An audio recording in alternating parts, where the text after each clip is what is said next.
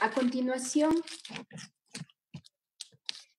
tenemos la participación de eh, Margarita Velasco, quien em, trabaja en el Observatorio de Desarrollo Social. Em, es responsable, ha sido responsable con su equipo de realizar el diagnóstico situacional del trabajo infantil en el Distrito Metropolitano de Quito. En este momento nos presentará eh, los resultados, los hallazgos del estudio eh, realizado entre septiembre, entre septiembre y octubre del 2019 y de igual manera podremos conocer las conclusiones y recomendaciones que serán de importancia para todos los actores del sistema de protección integral, tanto a quienes son los rectores de la política pública en el nivel nacional y local, como para la sociedad civil que trabaja con este grupo de atención prioritaria. Margarita, usted cuenta con 30 minutos. A los 25 minutos escuchará una campanita que le indica que le restan 5 minutos. Bienvenida. Eh, gracias. Primero, ¿me permiten saber si es que mm, me están escuchando? Sí, se le escucha bien, Margarita. Muy bien. Entonces, eh, lo primero que yo mm, quisiera decir es agradecer la presencia de todas y todos, desearles un muy buen día y voy a entrar directamente mm, al motivo de mi presentación, puesto que tengo muy poco tiempo para la cantidad de, información que tenemos. Eh, en primer lugar, este, fue, este es el resultado de una encuesta aplicada en noviembre del 2019 en los hogares que tenían niños en trabajo infantil. Em, la siguiente, por favor. Es importante que lo hicimos a 30 años de la Convención de los Derechos del Niño, eso no hay que olvidar. Trabajo infantil es algo que no le desearía a otro niño porque sufres, pasas noches con frío, a veces vendes, a veces no, preocupada porque mis hermanos estén bien, que ojalá tengamos algo que comer en la casa. Es la voz de una adolescente en uno de los grupos focales que hicimos, que yo creo que es fundamental comenzar por eso, por las voces de quienes están en el trabajo infantil. Siguiente. Los objetivos que nos plantearon para realizar este estudio fue que hiciéramos un diagnóstico de la situación del trabajo infantil en el Distrito Metropolitano de Quito, considerando ámbitos urbanos y rurales, los enfoques de género, de interculturalidad y movilidad humana. Muy bien, siguiente, por favor. Nosotros creemos que es necesario preguntarse, ¿para qué sirve un estudio cuántico cualitativo sobre un grupo de atención prioritaria? Muchos de, las personas que me precedieron en la palabra lo han dicho, pero es necesario volverlo a ratificar. Hay que tener evidencias de las situaciones. La evidencia es la base para la formulación de la política pública, que luego significará diseñar estrategias, emprender y poner en práctica acciones, lograr financiamiento y también monitorear la situación encontrada y los cambios al intervenir en ella. Evaluar en definitiva cuánto de lo que hoy vamos a ver se mejoró y qué falta por lograr. Y finalmente, tener estas evidencias para rendir cuentas de nuestra labor en la protección de derechos de la población de atención prioritaria. No nos olvidemos. Siguiente, por favor. El, el, informe que hicimos, fíjense ustedes, tiene siete capítulos. Hoy día solo me voy a centrar en el 4, el 5, el 6 y el 7. No voy a hablar nada del marco conceptual, algunas de esas referencias ya lo, hicieron.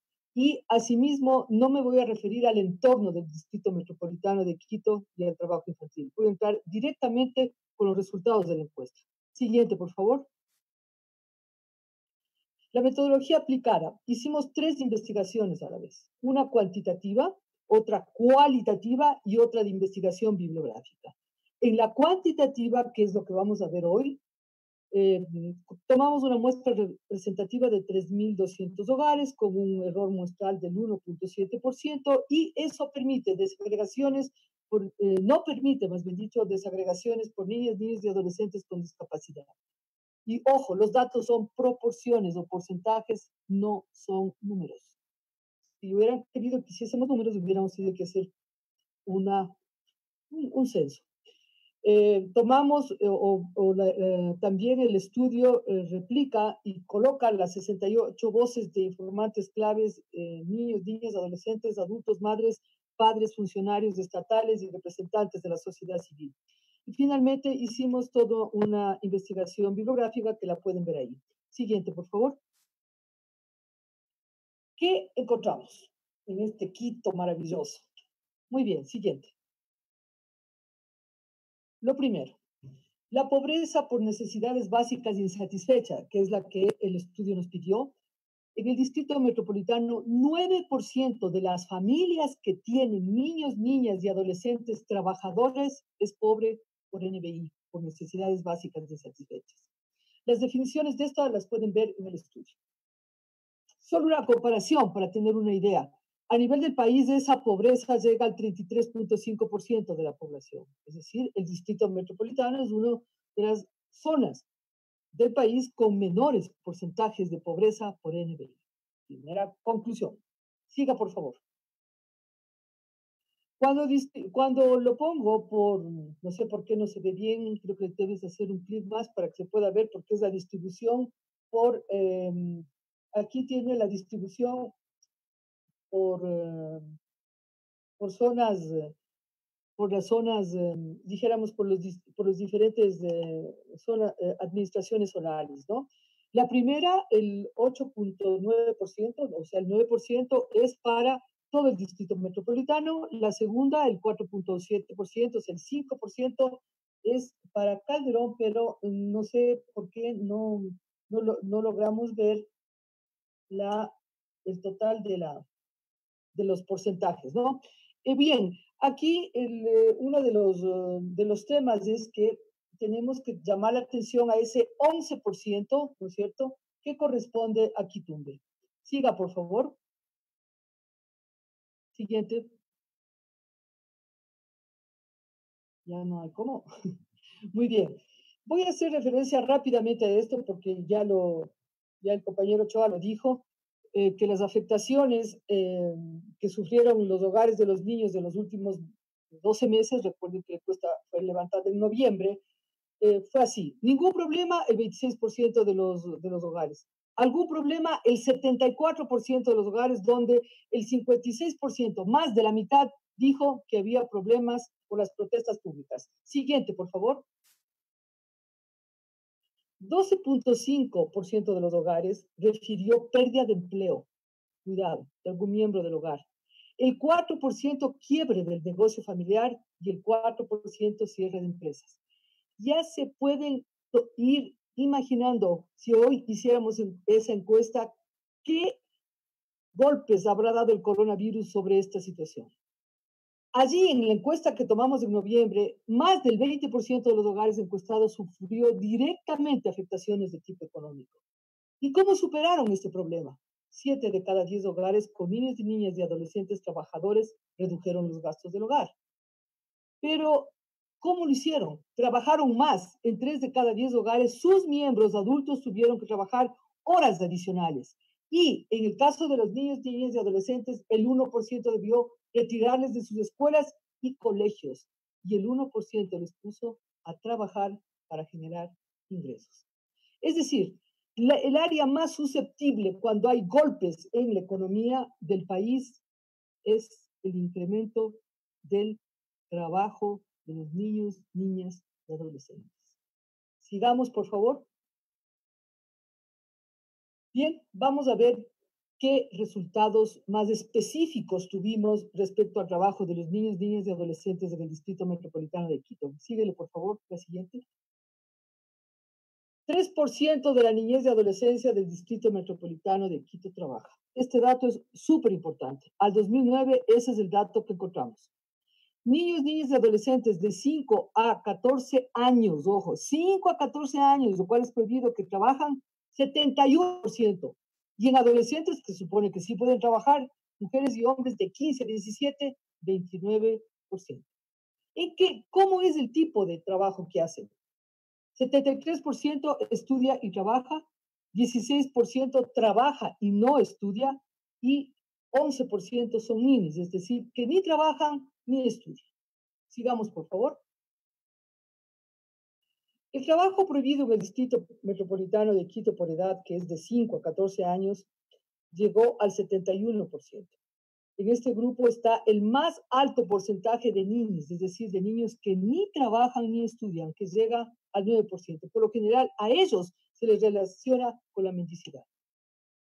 El 9% no estudia y solo trabaja, que es la segunda, el, el segundo elemento prohibido para aceptar el trabajo infantil. La mayoría de quienes laboran son los hombres, 53% frente al 47% de mujeres y entre los ninis, las, los hombres son el doble de los que trabajan, 8% que las niñas, que llega al 4%. Sigamos.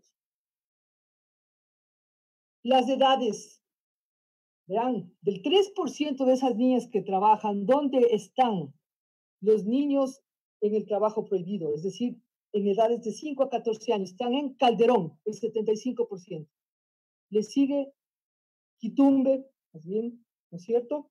Que es un poco incluso más. Luego, por favor.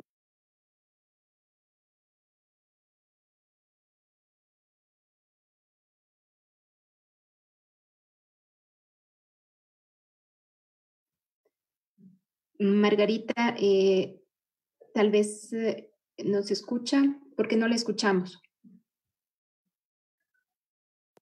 Ahí, por favor, ¿me escuchan? Ahí sí, correcto. Ya, muy bien, gracias por volver. Desde acá vuelvo. Entonces, los niños que, que están en el trabajo prohibido, la gran mayoría están, la gran mayoría están en Calderón, en eh, Calderón, Quitumbe, con 75%, le sigue la Delicia, le sigue Tumbaco, y los de 15 a 17 años, el mayor número está concentrado en Eugenio Espejo, con 36, 37%, y Manuela Sáenz. Siga, por favor. ¿Dónde trabajan los niños y adolescentes? Lo, lo más grave es esto. El 21% está, se desplaza al descubierto en la calle, en un kiosco en la calle, y otro, en una vivienda distinta a la suya, donde sobre todo en el caso de las niñas, que es del 5.5%, se dice que tienen los mayores riesgos de violencia y de acoso sexual. Siga, por favor, la siguiente. En la, verán, 21% promedio, pero en la administración zonal Eloy Alfaro el trabajo en calle sube al 30% y en Manuela Sáenz al 26%. Casi en todas las administraciones zonales este trabajo de alto riesgo bordea el 20% con excepción de Tumbaco, donde baja al 7%. Es decir, ahí está clarito dónde debemos intervenir. Siga, por favor. El trabajo en el hogar. 87% de las niñas, niños y adolescentes que trabajan además hacen lo siguiente, verán bien el enfoque de género. 95% arreglan la casa de los adolescentes de 15 a 17 años, esto referido a las mujeres, y el 92% de los adolescentes. Bien, o sea que aquí casi es igual el trabajo, el trabajo de arreglo de la casa. El arreglo de la, de la ropa la hacen sobre todo las mujeres 73% de promedio, frente al 70% de los hombres. Y ese porcentaje se eleva aún más en el caso de las adolescentes de 15 a 17 años. La preparación de alimentos. Fíjense, realizan la mitad de las niñas de 5 a 14 años y el 44% de los hombres de esta edad. O sea, esos niños trabajadores además preparan alimentos y las adolescentes mujeres de 15 a 17 años, el 76% están en la preparación de alimentos en el hogar y el 65% de los hombres de esa edad. O sea, trabajan, además de eso, trabajan en el hogar y algunos de ellos además estudian. O sea, tienen copado. Sigamos, por favor. Vamos a ver la incidencia de los factores culturales en la persistencia del trabajo infantil. Esto es muy importante, esto que nos dijeron los, los líderes de, de, pueblos y nacionalidades cuando les hicimos la entrevista. Hay que diferenciar el trabajo con el quehacer, nos dijeron. El trabajo es un tema remunerado que hombres y mujeres tenemos y una responsabilidad para esa remuneración, el quehacer. En la vida cotidiana, como ser humano y dentro de nuestra vida misma, se está haciendo para uno mismo, no para un tercero o un salario. Muy bueno, por ejemplo, si me invitan a una minga, eso no es trabajo para la concepción indígena. Eso es parte de mi quehacer de la vida cotidiana. Sigamos, por favor. ¿Qué otras cosas tenemos en, en, en, este tema? Miren, el 84% de los, de los niños y niñas y adolescentes que trabajan son mestizos. El 4% son afros. El 9%, el segundo grupo, son indígenas. Sígame, por favor, a la siguiente. ¿Dónde están los diferentes em, eh, grupos étnicos de niños que trabajan? En Calderón, el 7% son niños, niñas y adolescentes afros. En Manuela Sáenz, el 16% son indígenas. En Quitumbe, el 15.6%, ¿no es cierto? Y en Tumbaco, el 92% son mestizos. Sigamos, por favor. Esto es algo que encontramos. Trabajo infantil o ayuda, que son formas de enmascarar el trabajo infantil. Si bien la pobreza ha sido identificada como el factor desencadenante más importante para el trabajo infantil, también las prácticas culturales de los hogares han sido referidas como elementos que promueven, apoyan y configuran el trabajo infantil. Una de ellas, la noción de ayuda al trabajo materno o paterno, que dicen que no es trabajo infantil. Y oigan este, este testimonio. Yo le he ayudado a mi mamá a vender desde que tengo nueve años. Vendemos cañas por Santa Rita, de lunes a viernes no, pero sábados y domingos sí, desde las 10 hasta que se acabe tipo 7 y 8 de la noche. Sigamos. La edad de inicio del trabajo de las jefas y jefes, que es otra cosa cultural que podría estar incidiendo en el trabajo infantil, nos dicen que los padres de ellos, el 74% de los niños que trabajan, sus padres trabajó antes de los 18 años y el 26% después de los 18 años. Y acá hay otra cosa más, que comienza a, a, colocarnos aquello que nosotros llamamos, otra de las cosas que descubrimos aquí es aquello del empoderamiento de los niños, ¿no es cierto? De la agencia de la niñez. Les preguntamos, ¿quién tomó la decisión para que trabajes? Y el 71%, 7 de cada 10 nos dijo, fue mi decisión y el 28% nos dijo no, fue de mis papás o de otra persona. Sígale, por favor.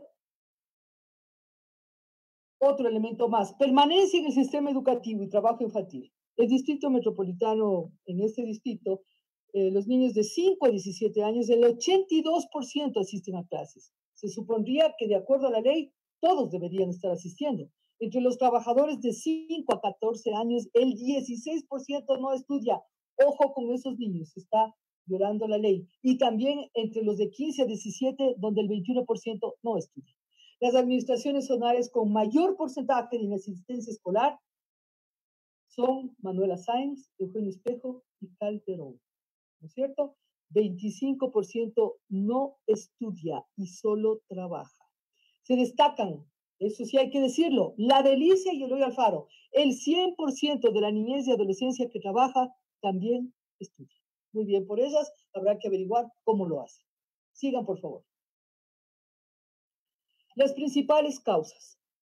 Falta de dinero, 28%. Perdió el año y fracaso escolar, 2%. Por la distancia, 2%. Acoso escolar, ojo, entre compañeros, el 1%. Inseguridad en el trayecto a la escuela, el 1%. Maltrato de los docentes, 1%, y le negaron el cupo por ser extranjero, 1%. Sumado todo, 36% en causas que podrían controlar si se hace un seguimiento. Siga, por favor. Acá otra vez tenemos esto de, que no está, está fallando esto, ¿no? Muy bien, ¿qué es lo que es eso? Ahí lo que, lo que queríamos decir es que el 51% de los padres tienen educación primaria y el 34% secundaria y el restante, alrededor del 15%, tienen educación universitaria. ¡Wow! O sea que esos son padres en su gran mayoría, en su gran mayoría, solo con educación primaria, lo cual también incide en la decisión de que el niño estudie. Siga, por favor. Motivos para que trabajen según sus padres. Trabajar porque la educación no es útil para el futuro, eso nos dijo el 6% de los entrevistados. Por falta de establecimientos educativos, qué extraño, el 2%. por falta de dinero para pagar la pensión escolar, que se referían además al gasto en la movilización, el 3%. Y ojo, falta de interés para estudiar, que llega al 2%. Sigamos. Niños y adolescentes trabajadores, vamos a ver ahora el perfil. El perfil es que de 5 a 14 años, el 71% trabaja. De 29 años, perdón, de 15 a 17 años, el 29%. Ojo, siempre esta referencia es a los niños que trabajan, no es de toda la población de niños, sino solo de ese 3% de niños que trabajan, 7 de cada 10 tiene 5 a 14 años, 3 de cada 10 tiene 15 a 17 años. Sigamos. Diferencias entre trabajo, eh, en el trabajo infantil por sexo. El 53% de la niñez y adolescencia que trabaja en el distrito metropolitano son hombres y el 47% son mujeres. ¿no? 6% de diferencia. Y en cuanto a lo urbano y lo rural, el 66% están en las áreas urbanas y el 34% en las áreas rurales. Siga, por favor. Otra vez volvemos. La agencia de la niñez. Ojo, entonces, hasta aquí dos elementos hemos dicho que, que señalamos acá, que no encontramos en otros estudios. Uno, el tema del ocultamiento del trabajo infantil porque me acompaña y no es trabajo infantil, lo cual es falso. Y dos, la agencia de la niñez.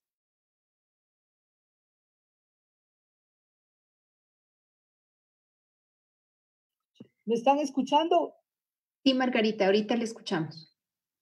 ¿Y eh, anteriormente no?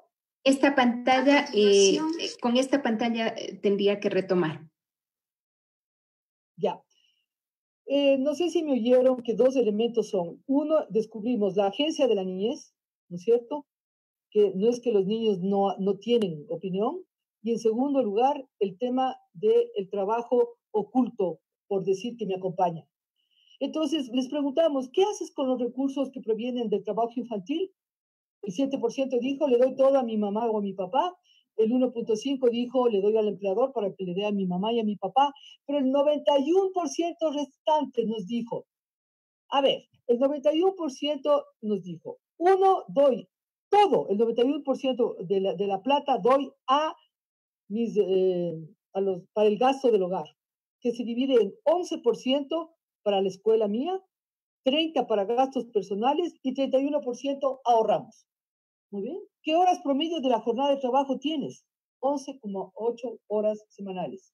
Las administraciones zonales que rebasan las 12 horas son la Delicia, donde llega a 13 horas y 54 minutos, y Calderón con 12,42. La, la diferencia según sexo no son significativas, ambos promedios de 11 horas por semana. Siga, por favor. ¿Y en qué, qué actividades trabajan? Ahí está, trabajador, trabajador familiar no remunerado, el 88% del total. Trabajador por cuenta propia, 4%. Trabajo no remunerado en otro hogar, 3%. Y así sucesivamente. Siga, por favor. ¿Cuántos tienen acceso a la seguridad social? Primero, el 77% de los que trabajan entre 15 y 17 años no tienen acceso. Las diferencias entre, hombres y mujeres no hay. 76,5, 78%. Siga, por favor. Esos son los que trabajan. Ahora, los que tienen seguro social, ¿cuánto, cuánto ganan? Promedio, 90 dólares. Si es hombre, 91. Si es mujer, 89. En cambio, los que no tienen seguro social y tienen entre 15 y 17 años, ganan 23 dólares. Casi lo mismo entre hombres y mujeres. Siga, por favor. Riesgos para la salud. ¿Qué riesgos tuvieron? Cuatro de cada diez tuvieron algún problema ocasionado por su trabajo. Las razones más frecuentes, esto es patético, agotamiento. Y luego fiebre, lesiones o heridas, problemas digestivos, problemas de ojos, problemas respiratorios, problemas de la piel y quemaduras todo lo descrito por ellos y ellas encaja en la definición de trabajo de riesgo que es prohibido. Kitumbi y Manuela Sáenz señalan las mayores complicaciones que el trabajo infantil ocasionó en la niñez y adolescencia trabajadora de sus territorios. Oigan esto, 44% en el caso de Quitumbe y 38% en el de Manuela Sáenz tuvieron agotamientos. La pregunta es, ¿cómo pueden estudiar? Tienen tiempo de ocio y descanso y encima más tienen que hacer tareas del hogar. Siga, por favor. Riesgos del trabajo, otros riesgos que los anteriores, expuestos a polvos y gases, a fuego, a gas inflamable, a ruidos fuertes, a frío o calor y a instrumentos peligrosos. Siga, por favor. La pregunta que se formula es, ¿qué tipo de control efectivo y eficiente realizan las inspectorías del trabajo infantil respecto a los riesgos a su salud e integridad de las niñas, niños y adolescentes que trabajan? Aquí la alerta está colocada, la ordenanza, por ejemplo, que están escribiendo y las acciones que los organismos competentes de formulación de la política pública en el ámbito local deben implementar y su observancia quedan señalados con datos. Estamos en deuda con la niñez trabajadora del distrito. Siga, por favor. Vamos al último tramo de lo que investigamos, la población en situación de movilidad humana. El 30% de los habitantes de la capital eh, del país son oriundos de otras provincias, movilidad interna, sobre todo de la Sierra Central y en menor medida vienen de Manaví, Guayas y Esmeraldas. Esto dice el Instituto de la Ciudad. Pero ¿qué es lo que nosotros encontramos en estos niños y adolescentes trabajadores? Que el 85% eran de Quito, el 10% provenían de otro lugar del país y el 4% venían familias de otros países. Siga, por favor. La gran mayoría de migrantes internos residen en la administración zonal Quitumbe. 61% de los hogares son de este tipo. Administraciones zonales como Eugenio Espejo y Los Chillos son las que concentran el menor porcentaje de hogares con niños que son migrantes internos y que a la vez trabajan. 30% en el caso de la primera y 31% en el caso de la segunda. Siga, por favor. Vamos a los migrantes extranjeros. En 5.5% de los hogares encuestados habían niñas, niños y adolescentes de 5 a 17 años que son extranjeros y que a la vez trabajan. El único lugar posible donde podemos trabajar es la calle. De algo tenemos que vivir de algún lado hay que sacar dinero. Estamos condenados a la calle, entonces no puede la policía impedirnos trabajar ahí, nos dijo un padre venezolano. La mayor concentración de niños, niñas y adolescentes trabajando y que son extranjeros es en Eugenio Espejo, donde, eh, perdón, en La Delicia, donde está el 8%. Y la menor en Eugenio Espejo, donde está el 1%, en Los Chillos del 2% y en Tumbaco el 2.5%. Y en otras administraciones zonales, tenemos Calderón, 5%, 6% Manuela Sáenz, 7% Manuel Alfaro y 7% Siga. Por favor, la siguiente. En la población extranjera migrante, otra vez, el acompañamiento como forma de trabajo infantil oculto. Mire lo que dice Alex, de 38 años, un colombiano. Mis dos hijos adolescentes no trabajan no trabajan, solo me acompañan al mercado y también son cargadores. No reciben pago, pero me lo dan a mí, el que contrata, porque yo soy el que trabaja. Otra, Noemí. Mi hijo de 15 años vende caramelos en los buses, él también toca violín y a veces toca en la calle y gana algo de platica para él y también para la casa. Y esta otra persona, Mirla, venezolana. Mis hijos no es que trabajan, pero me acompañan durante todo el día que estoy vendiendo mani dulce. Mis hijos no van a la escuela, entonces están conmigo. Sigamos, por favor. Otra vez. Causas que produjeron la migración interna, interna, entre las niñas de 5 a 17 años que trabajan. La gran mayoría por trabajo, el 4%. El 88, 89% vino con toda la familia de estos niños. Y el caso de la derecha, de la migración, inmigración, de los que vienen de fuera del país. Por trabajo, el 7%. Para mejorar los ingresos, 7.9, o sea, el 8% por violencia e inseguridad tuvieron que venir el 5%. Recuerden, sobre todo, la migración colombiana viene por ello. Y por otro lado, se vino con toda la familia, el 72%. Sigamos, por favor. La situación migratoria de los niños, niñas y adolescentes. Miren eso, el 75.5% está en condición irregular sin ninguna visa. No fueron pocos los testimonios recogidos en los grupos focales realizados para este informe que confirmaron que en aquellos casos, cuando las niñas y niños y adolescentes inmigrantes internacionales están en condición de migración irregularizado, no han podido matricularse en las unidades educativas del Distrito Metropolitano de Quito eh, o incluso no han podido ser atendidos en centros de salud. Sigamos, por favor. El hecho de no contar con documentos en regla supone que los derechos de esas niñas, niñas y adolescentes a la identificación están puestos en entredicho. Y peor aún, que por el hecho de no contar con documentos migratorios regularizados, otros derechos podrían ser vulnerados. Ojo, porque esta es una disposición que está en la Convención de la protección a los niños en situación de movilidad humana. Pero hoy el COVID-19 nos ha colocado en situación de desprotección abierta del Estado, aún peor para la población inmigrante. Ninguna medida específica para que puedan salir del país las familias y sus niños y niñas expulsados. ¿Por qué? Hoy, por la precarización que ha provocado esta pandemia. O sea, aquí, aquí esto no dice la encuesta, pero ya nos preocupa lo que está sucediendo con la pandemia en base a lo que ya encontramos en el mes de noviembre. Siga, por favor. Bien, llegamos a las recomendaciones.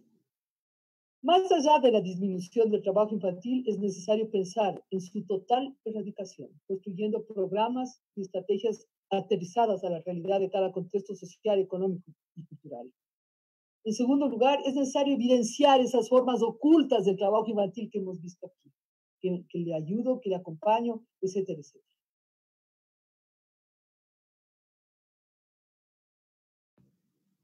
Margarita, ese fue el audio. Estamos en la segunda recomendación que era necesario. Segunda, aquí, muy bien. Es necesario evidenciar formas ocultas del trabajo infantil. La ayuda y el trabajo en calle y buscar soluciones económicas para los padres de operación eficiente del sistema de atención a la niñez. En tres, teniendo en cuenta que las políticas que se ejecuten deben ser construidas en base a una metodología, estas deben ser construidas de forma transversal, interdisciplinaria e interministerial para una total reforma de la estructura social. Tres, cuatro, desde la complejidad de la, de la dinámica migratoria internacional contemporánea, es fundamental identificar cuál es la situación de las niñas, niños y adolescentes y contar con planes financiados para su atención. Las agencias internacionales tienen que apoyar en eso. Quinto, la relación entre educación y trabajo infantil debe ser pensada desde la, uno, diversificación de políticas y estrategias que garanticen el derecho a una educación de calidad. De calidad, por favor, mediante la mejora de la oferta educativa desde la realidad de cada territorio y las especificidades de los niños, niñas y adolescentes. No es lo mismo un niño que se ha forjado en el trabajo que un niño que viene de la casa de mamá y papá, donde no tiene que trabajar. Por lo tanto, las metodologías tienen que partir del sujeto, que va a ser el sujeto del aprendizaje, no de la memorización, sino de la formación, como debe ser la educación. Sigamos, por favor. Quiero aquí poner las voces de las grupos focales y de las entrevistas, de esas 63 personas que nos dijeron todo esto.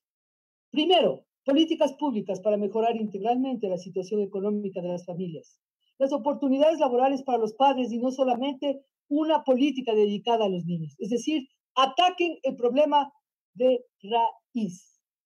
Más complejo en estas condiciones, pero sí, eso es lo que hay que hacer. Sigan, por favor. Segunda recomendación, Incluir la callejización y la mendicidad dentro de la problemática del trabajo infantil, nos piden estas personas. Tres, la policía debería ser formada y sensibilizada para la prevención y no para el castigo de la niñez y adolescencia que trabaja. Proponer un trabajo específico con la Policía Metropolitana y Nacional para la protección y no violación de los derechos de la niñez y adolescencia que debería estar en ordenanza. Cuatro, fortalecer el sistema único de registro del trabajo infantil. Ojo nuevamente con que debemos tener siempre evidencias. Se está actualizando este surte en el Ministerio de Trabajo. Hay que utilizarlo para el seguimiento, para la observancia, ya que esta es una plataforma para garantizar los derechos y la protección de adolescentes, sobre todo informales. Ojo, que el dato es fundamental porque es la evidencia, muy bien, de lo que hacemos, de lo que dejamos de hacer y de la situación y de la vida real de esos niños y niñas y adolescentes. Siga, por favor. La quinta, hacer un trabajo integral con la población y movilidad humana. Verán que esto es lo que nos dijeron, esto sí nos dijeron en el mes de octubre. Esto es lo que nos dijeron octubre, noviembre, que es hasta donde hicimos los grupos focales. Miren lo que nos dijeron. ACNUR les, da, ACNUR les da refugio, la visa sigue siendo muy cara. ¿Cómo regularizan a los niños? ¿Qué acciones específicas van dirigidas a las niñas niñas y adolescentes? Esta pregunta la volvemos a hacer en este momento del COVID.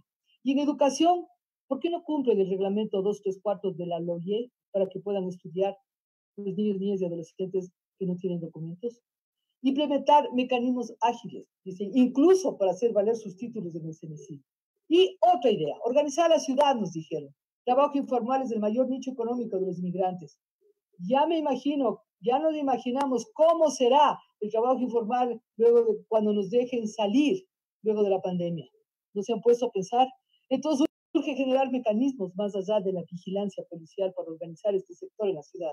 Implementar mecanismos, dicen, para regular de alguna manera la venta ambulante informal en las calles de Quito, la disputa territorial informales, locales y extranjeros.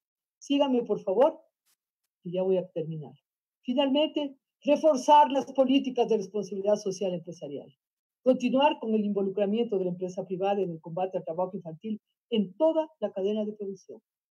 Garantizar la escolarización de los y las adolescentes que contratan ellos y sus condiciones de trabajo que sean dignas y trabajo decente, aquel que, que, el país está comprometido con los objetivos de desarrollo sostenible, que significa, miren, estamos pidiendo para las, los y las adolescentes seguridad social, salario y horas de trabajo según la ley. Muy bien, esto es lo que hemos podido recoger para presentarles de una manera súper sintética. Muchas gracias.